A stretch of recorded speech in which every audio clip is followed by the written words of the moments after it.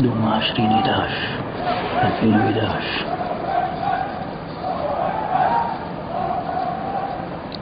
مطاردة المتظاهرين.